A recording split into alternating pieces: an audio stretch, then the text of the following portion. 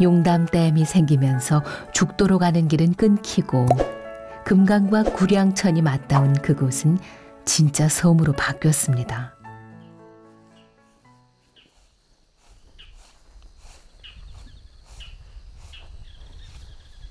댐이 들어서기 전에는 가막 분교까지 있을 만큼 사람들이 많이 살았던 마을. 하지만 이제 죽도에는 한 집만 남아 고향을 지키고 있습니다.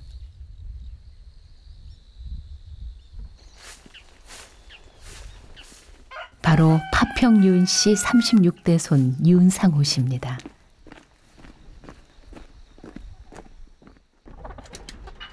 손이 귀했던 파평윤 씨는 조용한 곳에 가 공을 들이면 자손이 번창한다 하여 물길 따라 오르고 오르다 죽도에 털을 잡았다 합니다.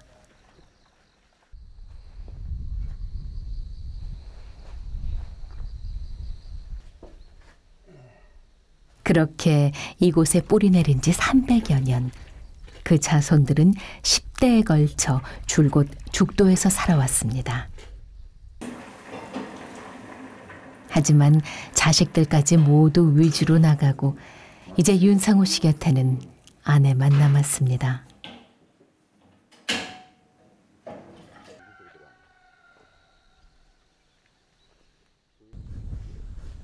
자식들 성화에도 그는 끝까지 고향을 지키겠노라 했습니다.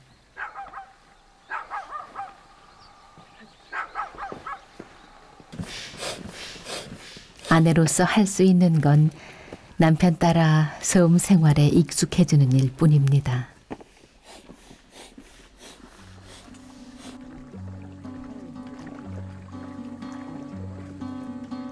오늘은 부부가 함께 배 타고 집을 나섭니다.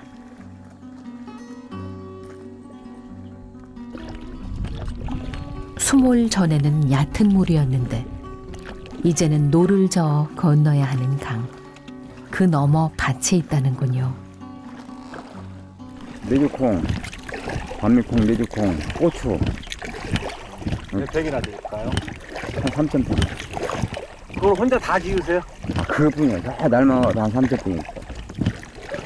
힘들어요. 이제 올해 많이 힘들어가지고 못 하겠다고.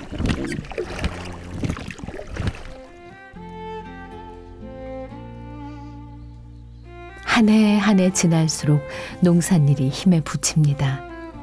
노를 저어 오가는 일만도 일흔을 바라보는 윤상호 씨에게는 만만치 않습니다.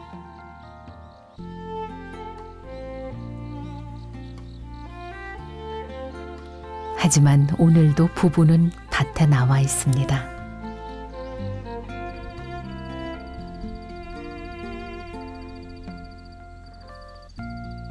물안개 속에 갇혀 있던 죽도가 마침내 모습을 드러내는 시간.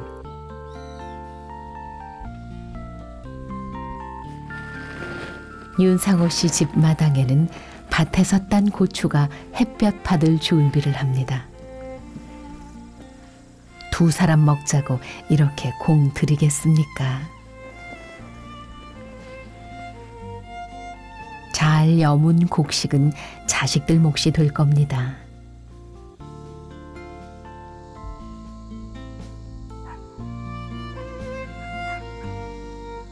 육지 속섬 죽도에 어둠이 찾아옵니다.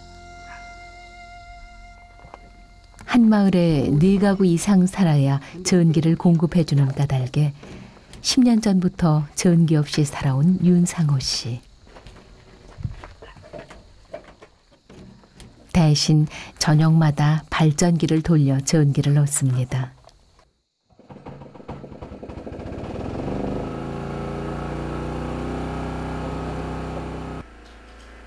그래 보아야 두 시간 정도.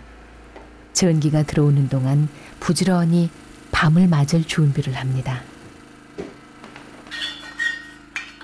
그 흔한 전기조차 마음껏 쓸 수 없어도 이곳을 떠나지 않는 이유는 하나입니다. 누가 뭐라고 해도 뿌리 없는 나무는 없고 뿌리 없는 자손은 없습니다. 예.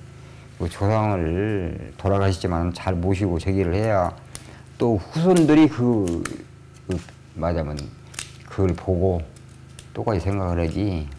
우리가 조상을 좀참 뭐같이 생각하고 제대로 안 지내고 그냥 뭐 이런 식으로 한수 벌지도 안 하고 한다고 보면 다음 세대가 뭐가 되고요. 뿌리가 없어져 버리는 거지. 뿌리가.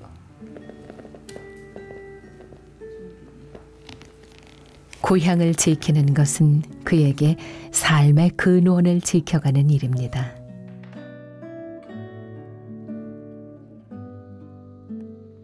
발전기가 제 몫을 다한 모양입니다.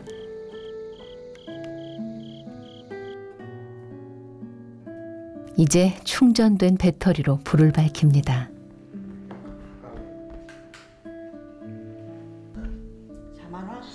응? 어, 뉴스 듣고 뭐 11시 뉴, 뉴스 들어야지. 그 밤, 밤이 지러가지고 이제 뭐. 누워서 들어. 12시 자도 뭐 대여섯 시간 자는데. 라디오는 섬 생활의 외로움을 달래주는 벗입니다.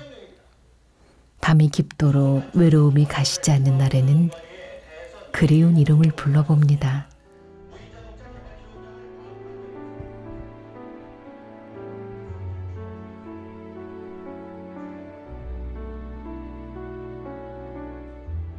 이제는 다시 볼 수 없는 부모님 말이죠. 아버님, 어머님, 막내 미숙이가 죽도에 왔다 갔습니다. 간밤에 하얀 눈이 내렸습니다. 그때 출대된 차가운 날씨에 지하에선 어떻게 지내시는지요? 자식들 걱정은 그만하시고 두 분이 편히 계십시오. 부르셔도 65입니다. 부모님 말씀 귀전에 들리는 것 같습니다. 열심히 성실히 살겠습니다. 2012년 3월 10일.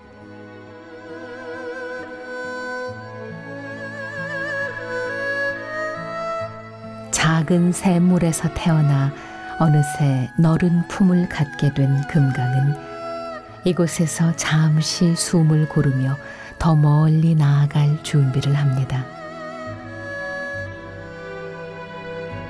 뿌리 깊은 나무가 쉽게 흔들리지 아니하듯 깊은 강은 쉬 멈추지 않고 멀리 흘러갈 것입니다.